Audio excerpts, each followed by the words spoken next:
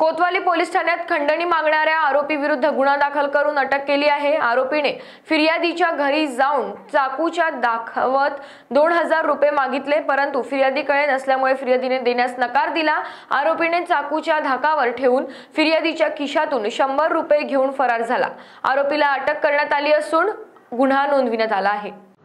सागर सूर्यवंशी नाम के कंप्लेनेंट हमारे पुलिस स्टेशन में आके उन्होंने कंप्लेंट दिया था कि उनके घर के पास रहने वाला कुशाल शेंडे, यह उनके घर में जाके उनको चाकू दिखा के उनको जान से मारने की धमकी दी और उनके जेब में से दो हज़ार रुपये मांग के जब पैसा नहीं ये करके बोला तो उनके जेब में से सौ रुपये उन्होंने निकाल के फरार हो गया।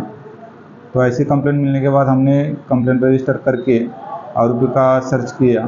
आरोपी मिलने के बाद उन, उसको अरेस्ट किया। उसके पास से सौ रुपये और चाकू भी बरामद किया है। आगे की कार्रवाई शुरू है। ऐसे उसने धमकी दिया है कि जब आरोपी कंप्लेनेंट के घर में गया तो उसने बोला कि तुमने सुबह जो मेरे खिलाफ कोतवाली पुलिस स्टेशन में कंप्लेंट दिया है तो तुमने कंप्लेंट दे के बहुत बड़ी गलती की है और इसकी भरपाई तुमको करनी पड़ेगी। इसलिए तुमको अभी मुझे दो हज़ार रुपये दो। तुमको अगर ज़िंदा रहना है तो मुझे दो हज़ार रुपये दो। ऐसा उसने धमकी दे के खंडनी मांगी।